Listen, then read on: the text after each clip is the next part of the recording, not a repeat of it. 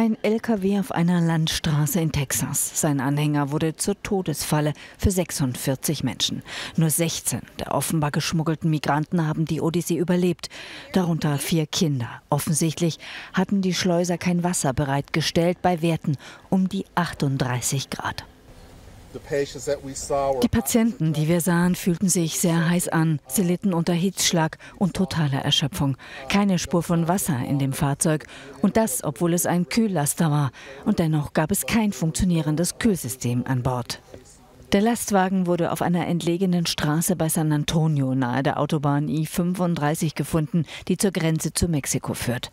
Ein Straßenarbeiter hört gegen 18 Uhr Ortszeit zufällig Hilfeschreie aus dem Truck. Die Tür steht halb offen. Eine Leiche liegt vor dem LKW. Für die Republikaner ist der Fall klar. Die Demokraten haben die Grenze nicht im Griff. Der texanische Gouverneur Greg Abbott erklärt auf Twitter, diese Toten gehen auf Biden. Sie sind das Ergebnis seiner tödlich offenen Grenzpolitik. Ob die Schmuggler geflohen sind, ist bislang unklar.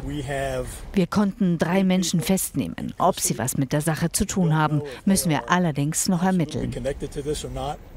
Noch ist nichts über die Nationalität der Opfer bekannt. Da aber vermutlich Mexikaner unter den 46 Toten sein werden, will heute der mexikanische Konsul nach Texas an den Ort der Katastrophe kommen.